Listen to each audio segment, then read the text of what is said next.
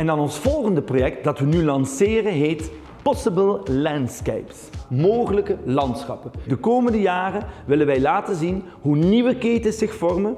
Boeren, bouwers, biologen, bankiers, beambtenaren samen om eigenlijk te zorgen dat we duurzaam kunnen gaan kweken, toekomstperspectief voor de boeren, duurzaam kunnen gaan bouwen, toekomstperspectief voor de bouwers en duurzaam kunnen leven, toekomstperspectief voor ons. Je moet per gebied gaan kijken, wat zou je hier kunnen kweken, wie zou dit kunnen doen. Eigenlijk moet je nieuwe netwerken vormen. Ik heb nu het gevoel ik wil doorpakken.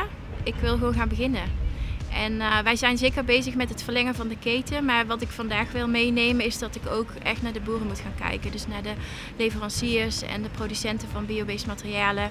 En die misschien ook op een andere manier meenemen in het proces. We nodigen 12 mensen per sessie uit. En dan gaan we twee uur lang in een sessie eigenlijk samen bedenken, possible landscapes, wat mogelijk zou kunnen zijn. En uh, door eigenlijk die verbreding en misschien wel uh, meer holistisch naar te gaan kijken, denk ik dat we op een veel uh, misschien rijkere manier weer terug kunnen inzoomen straks op het gebied zelf. En uiteindelijk maken wij daar dan installaties van die de keten tonen. Dus niet alleen de materialen, maar de hele keten. Van land tot pand zeggen we dan. Dus van plant tot gebouw. Hoe kun je eigenlijk de grond, water, planten, uiteindelijk materialen en uiteindelijk de eindgebouw, hoe kun je die bij elkaar laten zien zodat mensen snappen, hé, hey, het is allemaal verbonden. Je merkt als je met dit soort groepen bij elkaar zit, waar zoveel energie zit vanuit allerlei verschillende expertises, dan komen er echt nieuwe ideeën los waarvan ik denk, die kan ik echt mee terugnemen concreet nu.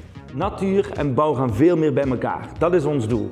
Als u zoiets heeft van wow, ik wil dit in de gaten houden of ik wil meedoen of ik wil uh, weten wat jullie allemaal gaan doen, laat het ons weten. Schrijf je in via deze e-mailadres voor onze nieuwsbrief of geef ons een opdracht en we komen langs om ook een possible landscape te maken.